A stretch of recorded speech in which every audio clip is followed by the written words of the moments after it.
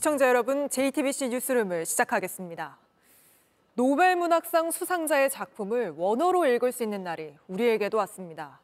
한국인으로서도 최초 수상이지만 노벨문학상 123년 역사에서 첫 아시아 여성 수상이기에 작가 한강의 수상은 더욱 빛이 납니다.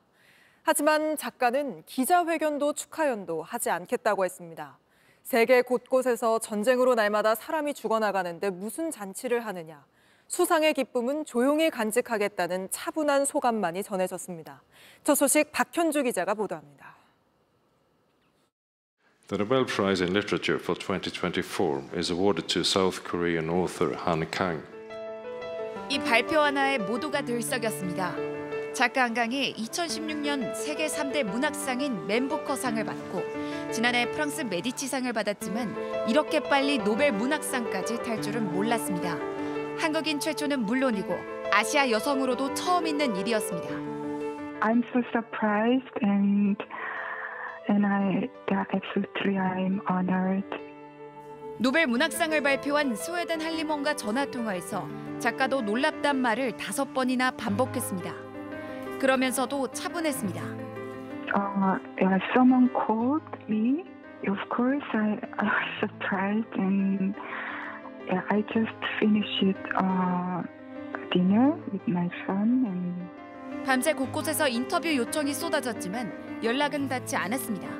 I don't drink. I'm going to have tea with my son and I will celebrate it quietly. 노벨 문학상의 전율과 환호가 가시지 않았지만 하루가 지나 끝내 기자회견도 마다했습니다. 그 전쟁이 치열해갖고 날마다 모든 죽음이 실려 나가고 그러는데 무슨 잔치를 하고 그 즐거워서 기자회견을 할 것이냐고. 아버지가 준비하려던 축하연 자리도 말렸습니다. 스웨덴 할리몬에서 그 상을 준 것은 즐기라는 게 아니라 더 냉철해지라고 한 거니까 그렇게 하라고 그러는데. 작가는 수상의 기쁨은 조용히 간직하겠다는 말만 전했습니다. JTBC 박현주입니다. 역사적 트라우마에 맞선 시적 산문이다. 한강 작가가 노벨문학상에 선정된 이유입니다. 5.18 광주 민주화 운동부터 4.3 사건까지 우리 역사의 고통을 누구보다 섬세하게 느끼며 시를 닮은 소설로 아름답게 풀어냈다는 찬사죠. 작가 한강의 작품 세계, 이어서 강나연 기자가 작가의 목소리로 전해드리겠습니다. 5.18 민주화 운동 넉 달 전, 9살 한강은 광주를 떠나 서울로 이사를 했습니다. 겨울에서 인생을 배웠습니다. 뭔가 겨울이라는 것이 아 이제 인생은 이렇게 계속 춥겠구나 뭐 이런 어떤 이미지로 아홉 살때 그렇게 좀 제 마음에 새겨져서 그때 아로새긴 차디찬 겨울의 감각은 자연스레 인간의 어둠과 슬픔을 향했습니다. 거긴 지낼 만한가요? 빗소리는 여전히 들을 만한가요? 세상에 글을 내보이기 시작한 20대 초반. 그래서 이 질문을 제일 많이 받았습니다. 어린 친구가 왜 이런 거 썼냐고 그런 얘기 많이 들었고요. 인간은 왜 이토록 폭력적인지 집요한 물음을 담은 소설 채식주의자가 탄생했습니다. 그러면서도 인간이 어떻게 존엄할 수 있는지 그토록 찾아 헤맨 물음의 뿌리가 5.18 그리고 광주임을 뒤늦게 깨달았습니다. 계엄군 총에 사라진 소년의 이야기를 담은 소설 소년이 온다를 완성해냅니다. 20세기에는 한국뿐 아니라 전 세계에 많은 상처를 남긴 시간이었다고 생각하고요. 전쟁부터 시작해서 어, 소년인가의 근원이 되었던 80년 광주 5월도 있었고요. 뒤이어 제주 4.3 사건의 비극을 여성의 눈으로 풀어낸 작별하지 않는다까지 늘 우리 역사의 고통을 정면으로 마주해왔지만 자신의 글이 어둠에 그친다고 여기진 않습니다. 저는 빛을 향하고 있으면 어둡지 않다고 생각하는 것 같아요. 한강은 이젠 겨울을 넘어 봄으로 가고 싶다고 말합니다. 글을 쓰는 게 무엇을 치유해 준다고도 믿지 않고요. 다만 조금 더 아주 조금 더 강하게 만들어 줄 수는 있는 것 같아서 JTBC 강나현입니다. 이렇게 역사적 트라우마 맞섰다는 찬사를 받으면서 한강 작가가 겪었던 순환도 다시 조명받고 있습니다.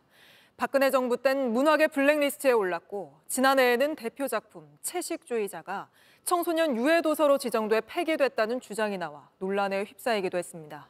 이희정 기자가 보도합니다. 당신이 죽은 뒤 장례를 치르지 못해 내 삶이 장례식이 되었습니다. 5.18 광주 민주화 운동을 다룬 한강의 소설 소년이 온다. 이 소설은 박근혜 정부 시절이던 2014년 문화체육관광부가 주최한 옛 문화부 우수도서 심사에서 탈락했습니다. 2013년에 대부분의 이 소설을 썼는데 그때는 굉장히 암울했죠. 그리고 이렇게 쓰고는 있지만 뭐 책이 나오면 신문에 기사 한 줄이라도 나올까? 2년 후인 2016년 문체부가 작성한 문화예술계 블랙리스트에 한강 작가가 포함된 사실이 드러났습니다. 박영수 특검팀이 압수물 분석 과정에서 이게 한강시가 블랙리스트에 들어가 있다라고 확인을 했다는데 이게 도대체 어떻게 된 겁니까 이거는? 같은 해 채식주의자로 영국의 맨부커상을 수상했지만 박근혜 당시 대통령이 관례를 깨고 축전을 거부한 것도 유명한 일화입니다. 당시 청와대에서 블랙리스트 실무 작업을 맡았던 용호성 문체부 1차관이 최근 윤석열 정부에서 승진하자 문화예술 단체들이 임명 반대 성명을 내기도 했습니다. 지난해 경기도 교육청이 채식주의자를 유해 및 폐기도서에 포함시켰다는 논란도 일었습니다. 하지만 도교육청은 폐기를 지시한 사실이 없다고 즉각 반박했습니다. 일부 학부모 단체가 부적절한 성교육 도서를 폐기하라는 민원을 제기해 학교들의 공문을 보낸 것이라며 실제 고교 한 곳에서 두 건만 폐기됐다고 해명했습니다. JTBC 이희정입니다. 작가 한강의 수상, 누군가에게는 큰 위로입니다. 바로 광주 5.18 민주화 운동과 제주 4.3 사건 피해자들입니다. 작가 한강이 비극 속에서도 사랑을 놓지 않는 사람들로 되살려내 우리에게 돌려준 분들이기도 하죠. 이들은 한강의 책을 내 가슴 속에 다 담고 싶다고 말했습니다. 오원석 기자가 만났습니다. 어머니는 44년 전 일을 잊지 못합니다. 오늘 저녁에 계엄군이 쳐들어온다 간다. 집에 가자. 이렇게. 내가 이렇게 갈 수는 없다고. 나만 살자고. 가면 쓰겠냐고. 엄마. 계엄군 쳐들어와도 손들고 나가 막생들이나 안 죽인다요. 하지만 17살 막내 아들은 1980년 5월 어머니 곁을 떠났습니다. 한강의 소설 소년이 온다에서 주인공 동호로 다시 태어난 문재학 열사입니다. 당신들을 잃은 뒤 우리들의 시간은 저녁이 되었습니다. 우리들의 집과 거리가 저녁이 되었습니다. 당신이 죽은 뒤 장례식을 치르지 못해 내 삶이 장례식이 되었습니다. 91살 김명원 할아버지. 76년 전 제주 4.3 때 부모와 동생 둘을 모두 잃었습니다. 내가 잘 보라 얘기해 주라고 이모가 말할 때마다 눈을 뜨고 억지로 봤다. 하지만 빨갱이, 폭도라고 몰릴까 말할 수 없었습니다. 사삼이란 말을 입 밖에 내지도 못했어요. 모든 걸 새로 만, 만들, 만들기 위해 가지고 모든 모든 걸 이제 그 기억하는데 너무나 시간이 너무 걸린 것 같아요. 오래 외면당했던 비극은 한강의 소설을 통해 알려졌고 이제는 세계인이 읽게 됐습니다. 전 세계에 5.18을 알리게 된 거 너무 감동스럽고 작가님한테 너무 감사하고 또 그 안에 이 책 안에 내 동생 재학이가 있다는 게 내가 이 책을 내 가슴 속에 다 담고 싶어요. 이번 수상은 큰 위로가 됐습니다. JTBC 오원석입니다. 앞서 전해드린 대로 기자회견을 하지 않겠다는 딸을 대신해 아버지인 한승원 작가가 대신 기자들을 만났습니다. 딸은 시적인 감수성을 가진 좋은 젊은 소설가라며 딸에 대한 애정을 드러냈는데 이자연 기자가 전해드립니다. 문학가의 딸로 태어난 문학가 한강. 새해를 맞아 아버지에게 보낸 편지에서도 소설을 얘기합니다. 고통이 모두의 것이란 걸 느끼게 해 한편 위안이 된다는 딸을 두고 아버지는 자신을 뛰어넘었다고 했습니다. 근데 강은 굉장히 이름부터가 신화적이고 환상적이고 큰 이름을 어, 길을 받아서 그런지 큰 사람이 되는 것 같습니다. 안 보여 찾을 때면 컴컴한 방에서 공상하고 있어요 하던 어린 딸. 자신의 소설을 읽히진 않았습니다. 하지만 몰래 수집한 5.18 사진첩은 딸이 글을 쓰는 동기가 됐습니다. 어느 날 그 부잡스러운 딸이 훔쳐봤나 봐요. 그런 비극적인 사진들을 보고 충격을 받았대요. 딸은 어린 시절 기억과 우리 현대사를 섬세한 문장으로 엮고 있습니다. 문장이 아주 섬세하고 아름답고 슬퍼요. 드라마와 이 어린 인간의 사랑 얘기를 그렇게 잘 그려낼 수가 없다. 노벨 문학상을 탄 53살 작가도 아버지에게는 그저 마음이 쓰이는 어린 딸입니다. 그 마음이 여려서 큰 일을 당하면 잠을 못 자고 고민하고 그래요. 어젯밤에도 3시에나 잠을 잤대요. 몸이 건강해야 소설을 끝까지 쓸 수 있죠. 그래서 건강하라고 그럽니다. 그러니까 여러분들도 건강하세요. 딸을 한마디로 표현해달라는 말에 아버지는 이렇게 답했습니다. 그렇게 어려운 시험 문제를 내서 시적인 감수성을 가진 좋은 젊은 소설가 JTBC 이자은입니다. 네, 노벨 문학상 수상 소식이 전해지면서 한강 작가의 책들은 현재 대부분 품절 상태, 없어서 못 파는 수준입니다. 한강 작가가 운영하는 책방도 오늘 종일 북적였는데 현장으로 가보겠습니다. 자, 김지윤 기자, 책방이 지금은 문을 닫은 건가요? 네, 여기는 한강 작가가 운영하는 서울 통이동의 독립서점인 책방 오늘입니다. 원래 이곳은 오후 7시까지 운영을 하는데요. 오늘은 아침부터 사람들이 많이 몰렸고 또 책도 많이 팔린 탓에 평소보다 조금 이른 오후 3시쯤 문을 닫았습니다. 이 사실을 모르고 찾은 시민들이 아쉬운 발걸음을 돌리기도 했습니다. 네, 그곳에 아침 일찍부터 많은 사람들이 몰렸다고 하죠. 맞습니다. 저희가 아침부터 와서 쭉 둘러봤는데요. 문을 열기 1시간 전부터 기다려서 책을 사려고 기다리는 사람들도 있었습니다. 들어보시죠. 어제 한강 작가님의 수상 소식을 듣고 어, 바로 여기 와서 책을 사야겠다고 생각을 했고요. 너무 제가 제가 뭐라고 어제 가슴이 너무 벅차가지고 잠이 안 오더라고요. 오늘 아침에 이제 서점을 돌아왔는데 책이 없더라고요. 다 매진돼서. 그래서 오늘 한강 작가가 운영하는 책방에 와서 네, 책을 사게 됐습니다. 네. 노벨상 수상자를 정하는 할리먼이 있는 스웨덴 언론에서도 찾아왔습니다. Headed from Beijing straight to Seoul.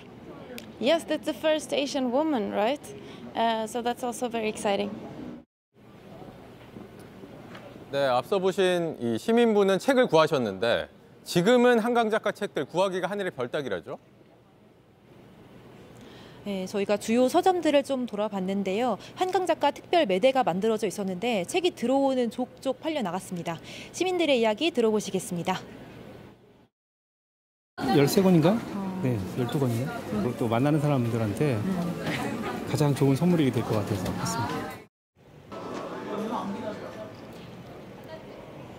네, 그나마 책을 산 사람들은 운이 좋았던 거고요. 대부분은 책이 없어서 사질 못했습니다. 온라인에서도 베스트셀러 10위까지 다 한강 작가의 책으로 줄을 이었는데요. 실물책이 부족하다 보니까 e-book이라고 불리는 전자책도 판매를 시작했습니다. 그 인터넷 보니까 다 품절이라고 하더라고요. 회사 근처여가지고 점심시간에 잠깐 들르게 됐어요. 네, 서점들이 어느 때보다 바쁠 것 같은데 그럼 한강 작가의 책들 오늘 얼마나 팔린 겁니까? 네, 예스24는 어제 저녁 8시 노벨문학상 발표 이후 오늘 오후 5시까지 한강 작가 책이 총 13만 부가량 팔렸다고 발표했습니다. 어, 개별 작품이 판매 부수가 얼마나 되는지는 공개하지 않는다고 했는데요. 대략적으로 전날 같은 기간에 비해 1000배 정도가 늘어났다고 합니다. 이렇게 주문량이 크게 늘면서 예스24 주가도 30% 가까이 올랐고요. 출판주 대부분이 급등했습니다. 네, 한강 작가의 책방 앞에서 김지윤 기자가 전해드렸습니다. 그동안 우리 작가들이 유력 후보로 거론되다 번번이 수상에 실패할 때마다 불거진 게 번역 문제였습니다. 우리말을 영어로 번역하면서 작품 내용이 온전히 전달되지 않는다는 거였는데 이번에는 달랐습니다. 한강 작가의 소설들은 단어 하나도 허투루 번역한 게 없다고 합니다. 노진호 기자입니다. 품격 있는 번역이 한국어 원문을 날카롭고 생생한 영문으로 바꿨다. 2016년 뉴욕타임스는 채식주의자를 소개하며 한강의 통찰력 있는 탐구를 그대로 유지했다고 보도했습니다. 이야기의 흐름을 있는 그대로 살리는 번역의 힘을 높게 평가한 겁니다. 이 책을 영어로 풀어낸 건 영국 출신의 번역가 데보라 스미스. 영국 케임브리지대에서 영문학을 전공한 스미스는 2010년 독학으로 한국어를 배우기 시작했습니다. 한국 문학의 비중이 커지고 있지만 전문적인 한글 번역가가 많지 않다는 사실 때문입니다. 한국어를 배운 지 3년 만에 놀랍게도 채식주의자의 매력에 빠져 번역을 맡았고 2016년엔 한강과 함께 3대 문학상인 맨부커상을 받았습니다. 스미스의 번역은 원작의 섬세한 문체를 오롯이 담아낸다는 평가가 따라붙습니다. And I aim always to be faithful to the spirit of the original work and to be faithful to the letter as often as I can without compromising that spirit. 채식주의자에선 소주를 코리안 보드카로 풀어내지 않고 그대로 소주로 썼습니다. 다른 작품 소년이 온다에서도 형과 언니를 원문 그대로 사용하기도 했습니다. 그러면서도 부분적으로는 의역을 통해 단어를 날카롭게 펴려 작가의 생각을 뚜렷이 담아냈습니다. 저는 소설에서 톤이 중요하다고 생각하거든요. 또 목소리를 담는 거, 목소리 질감 같은 거. 데보라 씨의 번역은 어, 이 톤을 가장 중요하게 생각하는 그런 번역이에요. 그래서 JTBC 노진호입니다. 한강 작가가 언젠간 노벨 문학상을 받을 거란 예측은 많았지만 그게 이번일 거라고 예측한 사람 거의 없었습니다. 이 때문에 문학계에서조차 믿을 수 없다는 반응이 나올 만큼 놀라움이 컸고 해외에서도 깜짝 쇼였다는 평이 나왔습니다. 계속해서 백민경 기자입니다.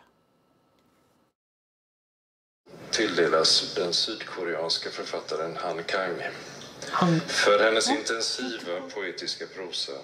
The Nobel Prize in Literature for 2024. 노벨문학상 발표를 듣던 출판사 직원들. 잘못 들은 게 아닌지 거듭 확인한 후에야 환호성을 지릅니다. 뉴욕타임스도 한강의 노벨상 수상은 깜짝 쇼였다고 평가했습니다. 출판계에서 한강의 이름이 거론되긴 했지만 가능성은 낮게 봤습니다. 실제로 베팅 사이트에선 전위적인 작품으로 잘 알려진 중국의 찬쇠, 노벨상 단골 후보인 무라카미 하루키 등이 더 윗순위를 차지했습니다. 늙은 작가나 늙은 시인들을 선택하더라고요. 그래서 우리 딸은 몇 년 뒤에야 어, 타게 될지 모른다. 할리먼은 매년 1월 후보 추천을 받아 10월에 수상자를 발표하는데 추천자와 검토 의견 등을 포함한 모든 과정을 50년간 비밀에 붙입니다. 때문에 수상자를 미리 점치는 건 물론 누가 최종 후보군에 올랐는지도 알기가 어렵습니다. 한강 작가는 오는 12월 스웨덴에서 열리는 시상식에서 메달과 증서 그리고 14억 원 가량의 상금을 받게 됩니다. 노벨상 상금에는 따로 세금이 붙지 않습니다. 노벨상 상금은 소득세법 비, 시행령을 보니까 비과세로 돼 있는데 맞습니까? 뭐 그렇게 알고 있습니다. 네. JTBC 백민경입니다. 한강 작가의 수상은 우리 문학의 쾌거이면서 아시아 문학의 큰 성취이기도 합니다. 아시아 최초 여성 노벨 문학상, 일본과 중국에선 한강 작가를 이렇게 소개하면서 작품들을 집중 조명하고 있습니다. 베이징 이도성 특파원입니다. 일본의 한 대형 서점 직원이 노벨문학상 수상자로 한강의 이름을 쓴 종이를 들어 보입니다. 그리곤 한강의 작품으로 특별 매대를 만들었습니다. 주요 일간지 일면을 장식할 정도로 한강을 향한 일본 내 관심은 뜨거웠습니다. 서점이 마련해둔 재고는 꺼내는 족족 모두 팔리면서 결국 동이 났습니다. いやすごいと思いますけど中身は知らないんで、えそれで読みたくなったです 12년 전 노벨문학상 수상자를 배출했던 중국에서도 이번 소식에 주목했습니다. 베이징시 중심가 한 서점에선 한국 소설들 사이에 함께 있던 한강의 작품을 따로 빼냈습니다. 서점 한가운데는 이렇게 수상 소식을 알리는 기사와 함께 한강 작가의 소설을 모아놨습니다. 한국 문학의 선구자, 한국은 반드시 세계문화유산으로 신청해야 한다며 극찬했습니다. 呃，我觉得其实韩江对于中国读者来说，它不算是非常陌生的。然后之前它有很多的作品，然后引入进来，然后被大家所知晓。 멀리 미국에서도 품귀 현상이 이어졌습니다. I don't know how many will get in because, as I mentioned, a, a lot of them are out of stock at the suppliers. 외신들은 수상 직후 한강의 작품 세계와 학계의 평가 등을 집중적으로 보도했습니다. It is quite violent and dark, but in some ways she's also a poet. Every word is precisely placed. 노벨상 공식 소셜미디어 계정은 환호성을 지르는 한강의 스웨덴 출판사 영상을 공개하면서 축하를 전했습니다. 중국 베이징에서 JTBC 이도성입니다. 지금부터는 김건희 여사 공천 개입 의혹의 핵심 인물 명태균 씨와 관련해 저희가 단독 취재한 내용 전해드리겠습니다. 명 씨와 함께 일했던 강혜경 씨는 저희 JTBC에 명 씨가 여론조사를 통해 지역 정치권에서 영향력을 얻었다고 주장했습니다. 여론조사를 먼저 제안하고 2등 후보에게 1등 만들어주겠다고 했다는 겁니다. 실제 저희는 명 씨로부터 그런 제안을 받았다는 지역 정치인들도 만나봤습니다. 먼저 임예은 기자가 단독 보도합니다.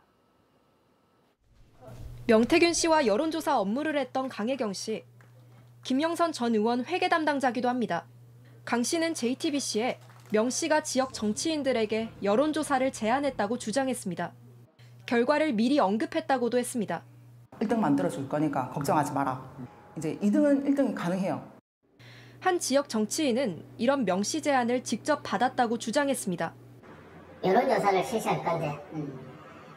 이름을 넣을지 안 넣을지 음. 물어보도록 습니다 음. 제가 의뢰한 게 아닌데. 선거 전에서는 여론조사 결과에 따라 인지도가 크게 달라질 수 있습니다. 유리한 여론조사가 필요한 사람들에게 도움이 될 수 있다고 좀 알려져 있다 보니까 특히 비슷한 경력의 후보들이 나오는 지역 선거에선 실제 효과가 있었다는 겁니다. 실제로 그런 적 있어요. 2등 1등 만들 당선시킨 사례도. 그 부산의 위원님. 강 씨는 김영선 전 의원이 다시 국회로 들어간 2022년 보궐선거쯤 여론조사에 대해서도 언급했습니다.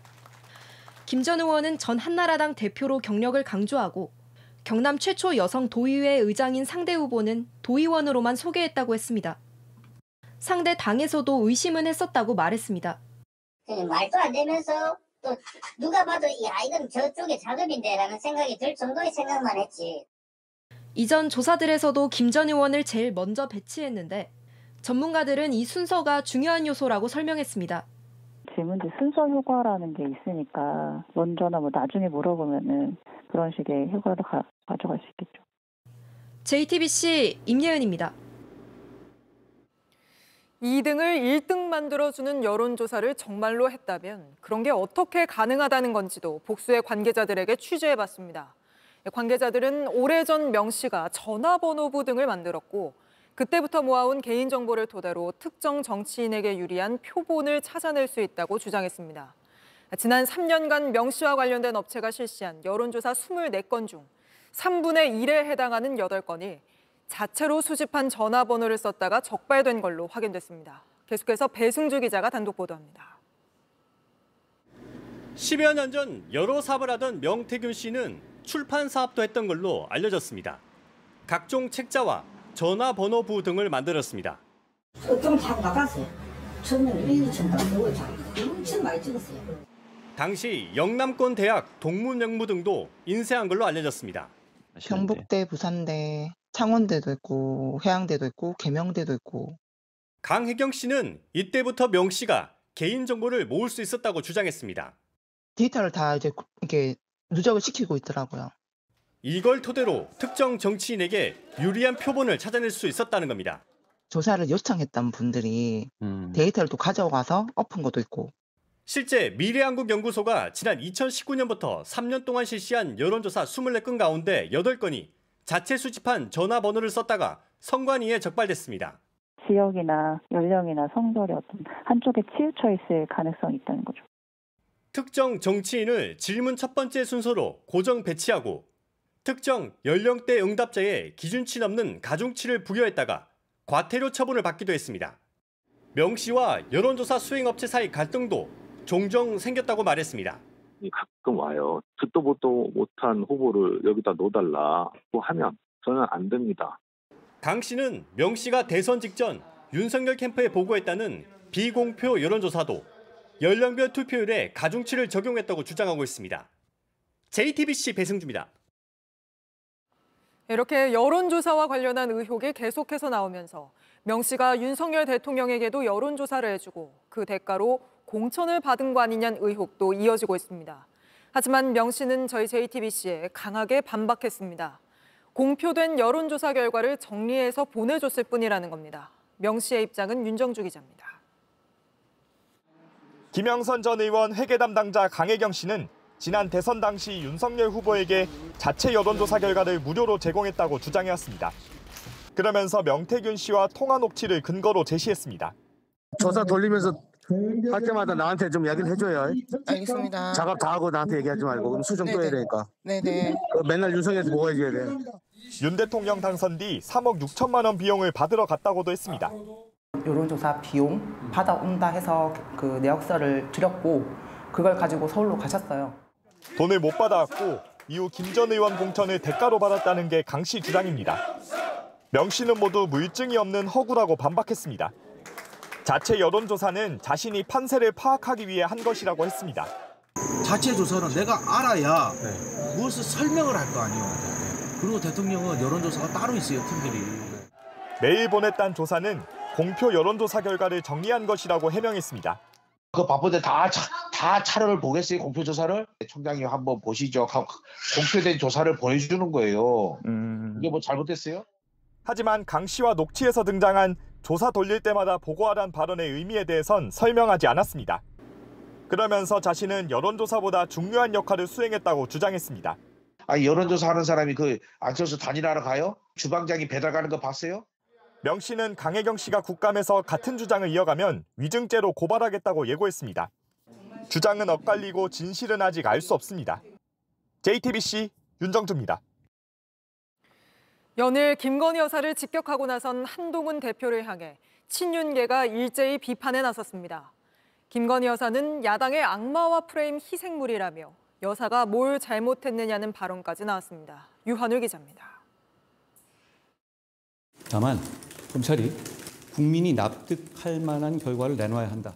전날 김건희 여사의 도이치모터스 주가 조작 의혹에 대해 검찰이 기소해야 한다는 의미로 해석될 수 있는 이 발언이 나오자 친윤계는 여론 재판이냐며 공개적으로 비판했습니다.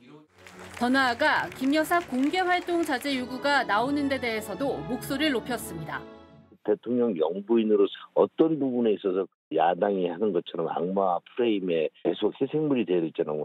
그렇게 뭘 그렇게 잘못했는지 모르겠습니다. 뭐 정치 공작에 희생이 되었죠. 동시에 한동훈 대표가 과도하게 정치적인 접근을 하고 있단 말도 나왔습니다. 보수 분열의 단초가 될 수 있는 곳으로 자꾸 우리가 끌려 들어갈 필요는 없거든요.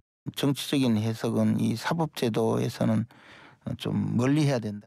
추경호 원내대표는 한 대표 발언에 모르겠다면서도 애둘러 불편함을 드러냈습니다. 아직 검찰에서 수사 결과가 최종 발표되지 않았기 때문에 언급할 수 있는 것은 적절치 않습니다. 한 대표는 잠시 뒤 동남아 순방을 마치고 귀국하는 윤 대통령을 마중하러 나갑니다. 윤 대통령이 출국할 때는 배웅을 나가지 않았는데 그 사이 두 사람이 곧 독대할 거란 보도가 나온 상황. 한 대표의 강경한 발언이 독대 시기를 정하는데 영향을 미칠 수 있다는 관측도 나옵니다. JTBC 유한울입니다. 지난 4월 치러진 22대 국회의원 선거에서 당선된 14명이 공직선거법 위반 혐의로 재판에 넘겨졌습니다. 10명이 민주당, 4명이 국민의힘 의원으로 허위 사실을 유포하거나 금품 선거를 한 혐의 등을 받고 있습니다. 이들 14명의 의원 말고도 천여 명이 지난 총선에서 선거법을 어긴 혐의로 기소됐습니다. 지난달 스스로 목숨을 끊으려 했던 서울경찰청 소속 간부 가족이 쓴 탄원서를 저희가 입수했습니다. 해당 간부가 겨우 의식을 회복한 뒤 직장 내 괴롭힘이 있었다고 했고 괴롭힘 의혹을 받는 직속 상사가 무릎을 꿇고 사과한다고 해놓고 이제 와선 잘못을 인정하지 않는다고 주장했습니다. 최연수 기자입니다. 지난달 22일 서울경찰청 소속 간부 A씨가 차 안에서 불을 붙여 온몸에 화상을 입었습니다. 스스로 목숨을 끊으려 한 겁니다. 그런데 최근 의식이 돌아온 A씨가 직장 내 괴롭힘을 주장했다는 가족의 탄원서를 JTBC가 입수했습니다. 탄원서에서 A씨는 직속 상관인 B씨가 부서에서 나가라고 반복해서 말하는 등 부서 내 왕따를 당했다며 결제를 받으러 가는 게 죽으러 가는 기분이었다고 했습니다. 탄원서를 쓴 A씨의 누나는 B씨가 사고 당일 병원에 직접 찾아와 동생 의식이 돌아오면 무릎 꿇고 사과하겠다고 해놓고 언론에는 아무런 잘못이 없다고 주장하는 것을 보고 화가 났다고도 적었습니다. 특히 사고가 난 뒤 A씨와 같은 부서에서 일하는 경찰 두 명이 거의 매일같이 병원에 찾아왔습니다. 그 서울청 직원들이 왜 갔는지 모르겠지만 하여튼 이 문제에 대해서는 본청 주관으로 어, 사실 확인할 겁니다. A씨 누나는 이름과 시간, 뭘 물어봤는지까지 다 기록했습니다. A씨 상태는 어떤지, 또 A씨 부인도 경찰인지 묻는가 하면 가족들 눈을 피해 간호사에게 담당 의사가 누군지도 물었습니다. 괴롭힘에 대해서 조사하지 않고 피해자의 주변을 헤집고 다니는 것 이거 용납할 수 없는 일입니다. 적법한 일인지 이 부분도 반드시 밝혀내겠습니다. B 씨는 취재진에게 부서에서 나가라고 말한 기억이 없다며 잘못이 있으면 사죄를 하겠다고 한 것이지 잘못을 인정한 취지는 아니라고 밝혔습니다. 경찰청은 B 씨와 주변 동료를 우선 조사했고 A 씨는 더 회복된 뒤에 조사할 계획이라고 밝혔습니다. JTBC 최현수입니다. 경기 안성에서 사고를 낸 테슬라 전기차에 화재가 발생하며 운전자가 숨졌습니다. 숨진 운전자는 차량 뒷좌석에서 발견됐는데 사고 직후 차량 문이 잠기면서 탈출에 실패한 걸로 추정됩니다. 이세현 기자입니다. 희뿌연 연기가 도로를 가득 메웠습니다. 어제 오후 경기 안성에서 도로 경계석을 들이받은 테슬라 차량에서 불이 났습니다. 소방당국은 70분 만에 불을 껐습니다. 사고 충격으로 차량 잔해물이 이렇게 널브러져 있고 불이 난 테슬라는 아직도 수조에 담겨져 있습니다. 차량 운전자는 뒷좌석에서 숨진 채 발견됐습니다. 경찰은 운전자가 뒤쪽으로 이동해 문을 열려고 했지만 탈출하지 못한 것으로 보고 있습니다. 잠금 장치가 고장이 났다든지 수동 개방 장치가 뭐 없었는지 국과소에 의뢰를 해서 전기차 화재 사고 2021년부터 최근 3년간 139건입니다.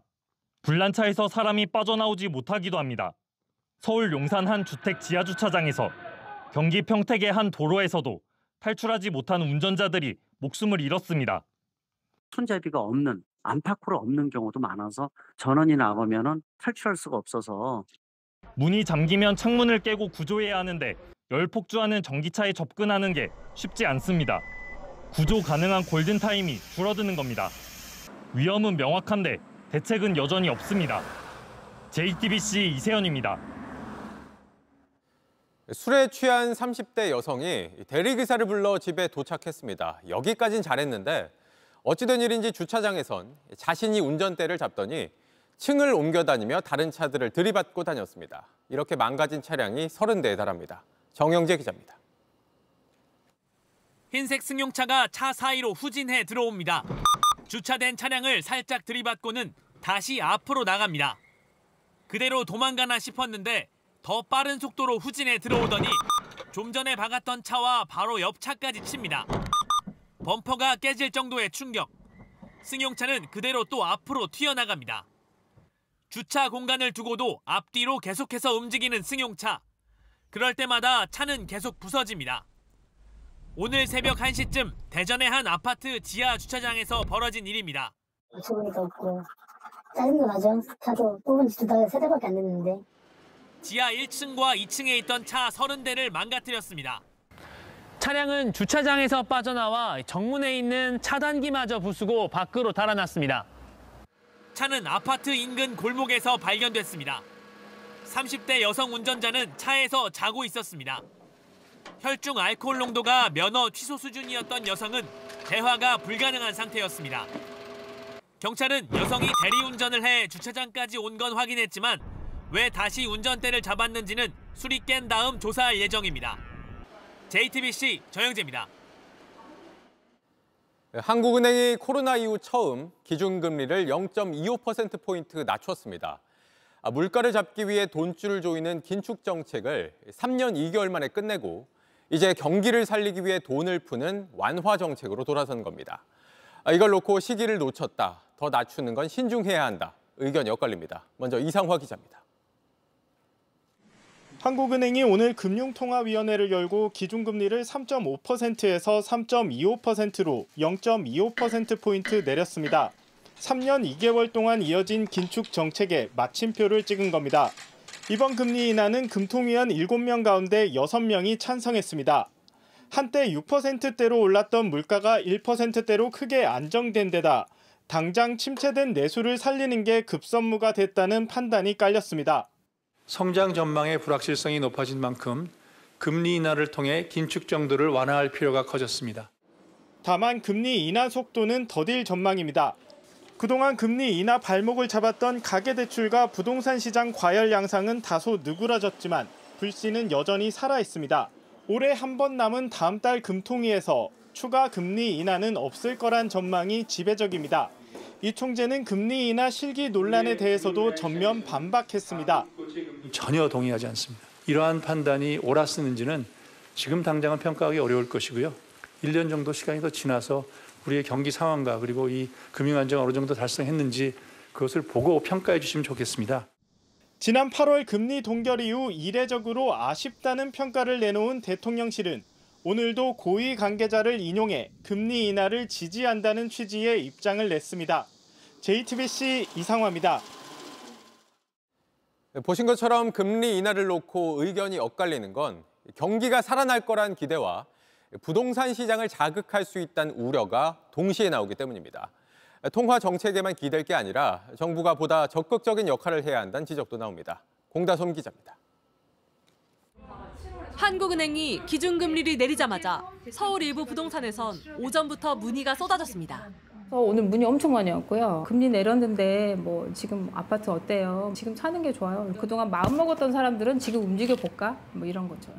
지난달 금융권 주택담보대출 증가액은 6조 원대로 부동산 시장이 불붙었던 8월보단 증가세가 둔화했습니다. 그런데 금리 인하가 현실화하면서 가격 상승세가 꺾이지 않은 일부 지역을 중심으로 다시 대출이 늘 거란 우려도 나옵니다. 한국은행은 이런 우려를 고려해 추가 인하에 대해선 신중한 입장을 내비쳤습니다. 인하를 하지만 금융 안정에 대한 고려를 상당한 정도 해야 된다라고 고려하기 때문에 그런 면에서는 매파적 인하로 해석하실 수 있을 것 같습니다. 실제 금통위원 6명 가운데 5명이 3개월 후에도 금리를 유지해야 한다고 언급했습니다. 문제는 내수 회복 속도입니다. 금리 인하 효과가 기업과 가계로 옮겨가는데 시간이 걸리는 데다 통화 정책만으로 경기를 끌어올리기엔 한계가 있다는 지적도 나옵니다. 0.25 정도 내린 것 같고 내수가 진작된다고 보기 좀 어렵고 음. 재정 지출을 좀 확대한다든가 소비 진작책 임시 공유라든가 이런 걸 좀 늘려서 내수를 그나마 좀 확장시킬 수 있는 현재 정부의 대출 관리 기조로 시중은행들의 대출 금리 인상 움직임은 계속되는 가운데 오늘 이복현 금감원장은 금융 상황 점검 회의를 열고 가계대출 위험이 이어진다면 필요한 감독 수단을 모두 쓰겠다고 밝혔습니다.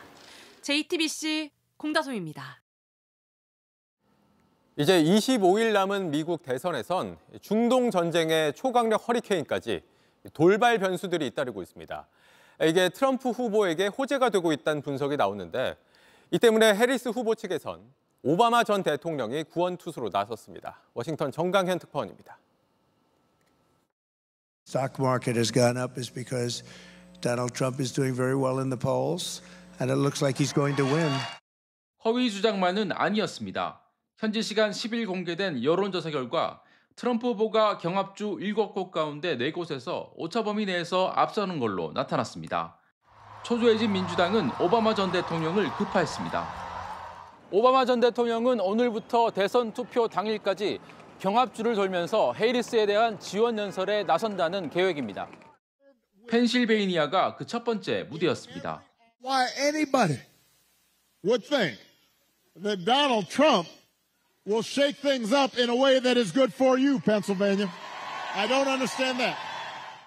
오바마가 흑인과 젊은 유권자층 사이에 호감도가 높은 만큼 경합주의 초박빙 구도를 흔들 변수가 될 수 있다는 분석이 나옵니다. 이런 가운데 최근 플로리다와 노스캐롤라이나, 조지아 등 미국 남동부를 강타한 허리케인 역시 또 다른 막판 변수가 될 가능성이 거론됩니다. 트럼프는 연방 정부가 사실상 손을 놓고 있다는 음모론으로 공세를 이어가는 중입니다. The federal government, on the other hand, has has not done what you're supposed to be doing. In particular, with respect to North Carolina, they've let those people uh, suffer unjustly. 하지만 이런 거짓 공세에 대해 피해 지역 공화당 인사들이 구호에 방해가 된다며 불만을 제기하는 등 당내 분열이 초래될 조짐도 나타나고 있습니다. 워싱턴에서 JTBC 정강현입니다. 일본인들은 대개 신사나 사찰을 찾는 경우가 많고 기독교인은 전체 인구의 1% 수준이라고 하죠. 이렇게 신자가 적은데도 일본 곳곳에 교회가 제법 많습니다. 예배가 아니라 결혼식 때문입니다. 도쿄 정원석 특파원이 설명해 드립니다. 일본 번화가에는 이처럼 대성당이라든가 예배당이라고 쓰여져 있는 예쁜 건물들이 많습니다. 하지만 일본 사람들 중에 교회나 성당에 다니는 사람들은 굉장히 적죠. 그렇다면 이런 건물들은 뭘까요? 일본 도쿄의 대표적인 부촌이자 번화가가 모여 있는 미나토구.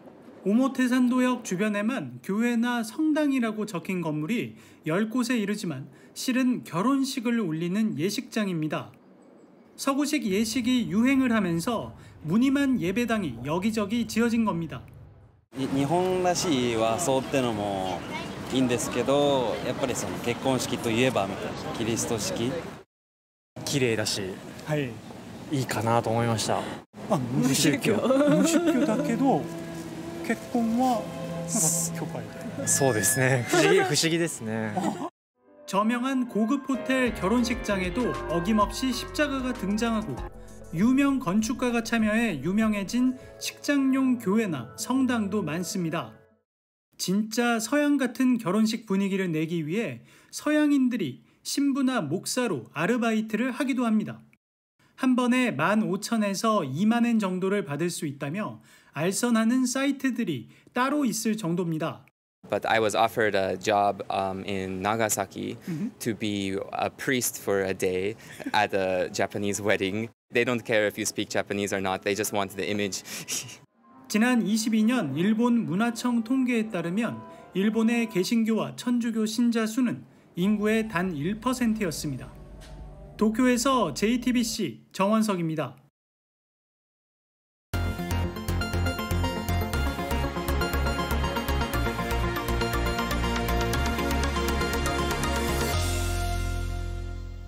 우리 바다로 넘어와 불법 조업을 벌이는 중국 어선들 갈수록 잡기가 어려워지고 있습니다. 신형 엔진을 여러 개 달고 지그재그로 도망가거나 붙잡혀도 철망으로 배를 감싸고 저항한다고 합니다. 우리 어민 괴롭히는 중국 어선들의 불법 조업 밀착 카메라 정희윤 기자가 취재했습니다. 바람에 휘날리는 붉은 깃발들, 곳곳에 걸려 있는 옷가지들. 얼마 전 해경이 납포한 중국 어선 세 척입니다. 지난 5일 우리 해역에서 불법 조업을 벌이던 300톤짜리 중국 어선입니다. 이 어선 안에는 천장을 포함해 16명이 타고 있었는데요. 잠시 뒤 담보금 3억 원을 지불하고 중국으로 출발해 중국 해경에 인계될 예정입니다. 납포된 지 3일 만에 조사를 받고 추방되는 겁니다. 등선 방해물을 설치하고 지속적으로 중국 쪽으로 도주하고 있는 상황이었습니다. 다행히 한미 쪽에는 다른 등선 방해물이 설치돼 있지 않아 저희 경비함정이 한미 쪽으로 접근, 겨우 등선하여 납포할 수 있었습니다. 과거엔 단속 대원들에게 쇳덩이나 흉기를 던지며 거세게 저항하던 중국 어선들. 이 경우 붙잡히면 엄한 처벌을 받을 수 있다 보니 최근엔 지그재그로 도주하는 방식이 많다고 합니다. 지금은 우리 경찰이 쇠파이프 같은 등선 방해물을 모두 압수한 상태인데요. 이곳을 보시면 이 큰 구멍에는 쇠파이프가 설치돼 있고 이 바로 위쪽에 이 작은 구멍에는 그 철망이 설치되어 있었습니다. 이런 것들을 설치해서 진입 불가하게끔 만들어 놓은 겁니다. 해경이 담보금 3억 원을 확인하자 선원들은 중국으로 떠날 채비를 합니다. 선원들이 갑판으로 모두 나오고 중국인 선장은 인원을 확인합니다. 이 중국어선은 우리 경비함의 호송을 받으며 먼 바다로 나가 중국 해경을 만나게 됩니다. 올해는 유독 어업 활동이 어려워졌다는 서해 바다. 꽃게 조업이 한창인 연평도로 가봤습니다. 연평도에 30년 살았다는 어촌 계장과 바다가 한눈에 보이는 언덕으로 올라가 봤습니다. 이날은 물의 흐름 때문에 고기잡이 배가 많지 않은 날임에도 불구하고 북방 한계선을 따라 중국 어선 20척 가량이 보입니다. 제 뒤로 보이시는 바다는 우리나라 해역과 북방 해역이 만나는 북방 한계선이 있는 곳입니다. 불과 한 30분 전만 해도 저 중국 어선들이 모두 정박해 있었는데요. 지금 조금씩 움직이는 걸로 봐서 이따 해가 지면은 조업 활동을 본격적으로 시작할 것으로 보입니다. 이런 중국 어선들은 보통 밤부터 새벽 사이에 강화도 인근 바다까지 넘어와 불법 조업을 한다는 게 어민들의 설명입니다. 여기 앉아 새카매 있었어요. 지금은 배들을 척수는 많이 줄였는데 배들이 또 현대화가 돼갖고 그물을 또 많이 쓰는 것 같아요. 쓰레기 빼고 다 잡아가야지. 섬 한켠에 버려진 어선. 최신식 엔진이 세개나 달려 있습니다. 지난해 불법 조업을 하던 중국 어민들이 우리 해경을 피해 버리고 달아난 겁니다. 지금 배들이 네. 옛날 같지 않고 많이 좋아졌어요. 지금 현대화 돼갖고 네. 보트들 엔진을 세 개씩 달아요. 우리 경유정부터 더 빠르게 달아요.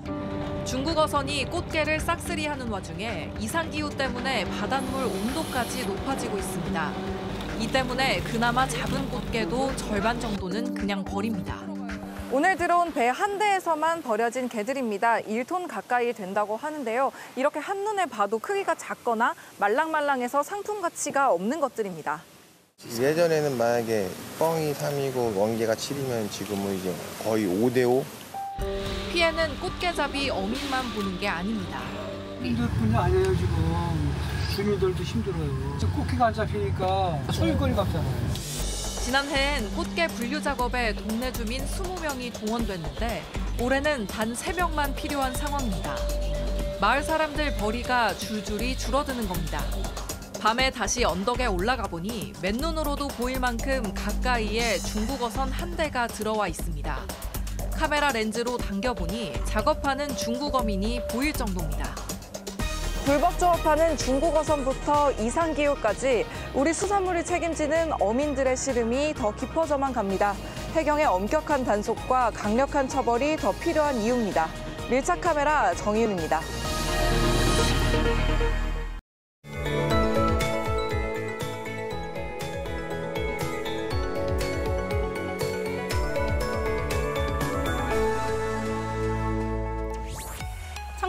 하늘에 따사롭게 내리쬐는 햇살이 발길을 바깥으로 향하게 만드는데요. 이번 주말 동안에도 비 소식 없이 가을 정취를 만끽하기 좋겠습니다. 다만 장시간 외출하신다면 하루 사이에도 10도 이상 벌어지는 기온차에 대비해 외투를 챙기시는 게 좋겠습니다. 쌀쌀한 아침 날씨에 오전까지는 안개도 짙게 끼겠습니다. 차량 이동하시는 분들은 차간 거리 넉넉히 두고 안전운전 하시기 바랍니다. 내일까지 영남과 제주 해안에는 강한 너울이 밀려오겠는데요. 최근 야외 활동이 많아지고 있는 만큼 해안가 안전사고에 더욱 유의하셔야겠습니다. 한편 내일 서울을 포함한 중서부 지역은 오전 공기가 탁하겠고요. 특히 인천과 경기 남부, 충남은 미세먼지 농도가 종일 나쁨 수준을 보이겠습니다. 내일 아침은 내륙을 중심으로 13도를 밑돌며 쌀쌀하겠고요. 한낮엔 서울과 청주 24도, 광주 26도로 오늘만큼 따뜻하겠습니다. 다음 주 초반에는 충청과 남부, 제주를 중심으로 가을비가 내리겠습니다. 날씨였습니다. 미주 중앙일보가 창간 50주년을 맞아 기념 행사를 가졌습니다. 참석자들은 50년 동안 한인 사회의 눈과 귀가 되어준 미주 중앙일보의 노고를 격려했고 남윤호 미주 중앙일보 대표는 아시아계 최고 미디어로 도약하겠다는 비전을 선포했습니다. 홍정도 중앙그룹 부회장은 한인 기업인들과 미주중앙일보 구독자들에게 감사의 마음을 전했습니다. 중앙일보가 50년 동안 잘한 것도 있겠지만 사실 부족한 점도 많았는데 질책해 주시고 격려해 주신 여러분들이 없었다면 오늘 이 자리는 없었을 것 같습니다. 네, 뉴스룸 저희가 준비한 소식은 여기까지입니다. 시청해 주신 여러분 고맙습니다.